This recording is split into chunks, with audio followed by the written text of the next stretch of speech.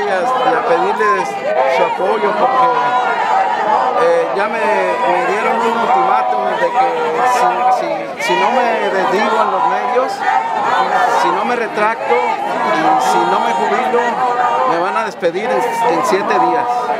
Y es por lo que yo le vengo a pedir al presidente pues que, el apoyo, ¿verdad? ¿Por qué lo despedirían? Eh, denuncié ante los medios la corrupción, eh, las irregularidades, el acoso laboral por denunciar, que ha llegado hasta los golpes.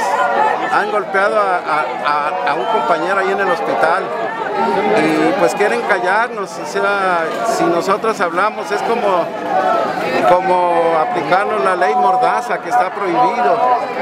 Entonces no quieren que hablemos nada, estoy amenazado.